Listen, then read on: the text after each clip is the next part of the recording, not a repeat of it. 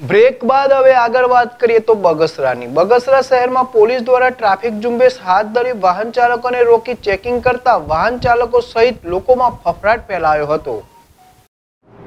અમરેલી જિલ્લા પોલીસ અધિક્ષક હિમકર સિંહ સાહેબના માર્ગદર્શન હેઠળ બગસરા પોલીસ સ્ટેશનના પીઆઈ આઈજે ગીડા મેડમના માર્ગદર્શન અને સૂચના અન્વયે ટ્રાફિક જમાદાર જીતુભાઈ વારા તથા પોલીસ સ્ટાફ દ્વારા શહેરમાં જૂના બસ સ્ટેશન સહિત વિસ્તારમાંથી પચાર થતા વાહન ચાલકોને રોકી તેમની પાસેથી લાયસન્સ સહિત જરૂરી ડોક્યુમેન્ટ તેમજ ત્રિપલ સવારી કરતા બાઇક ચાલકો સહિત આડેધડ પાર્કિંગ કરી ટ્રાફિક થાય તેવા વાહન ચાલકો રોકીને દંડ ફટકાર્યો. વાહન ચાલકમાં ફફડાટ ફેલાયો હોય ત્યારે આ કામગીરી કરતા શહેરના વેપારીઓએ પોલીસનો આભાર માન્યો.